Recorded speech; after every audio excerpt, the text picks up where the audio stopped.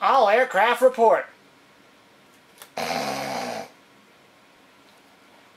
But if the flux capacitor goes into the G diffuser, that would mean...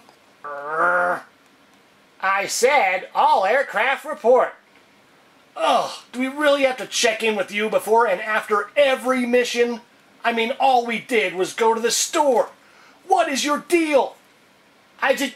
I, I'm just trying to be a good leader. You're trying to be a micromanager. Let us live a little. New barrel! Whoa! What's going on? Falco's losing it again. I'm not losing it. You're driving me crazy. What? What was that? I, I do that sometimes when I get flustered. Shut up! Shut up, you guys! Whoa, Slip, did you just croak? See, it's not just me. I've heard Peppy do it too. Me? No way, I don't make silly noises.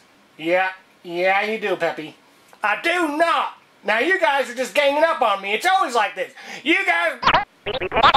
Ha! Right there!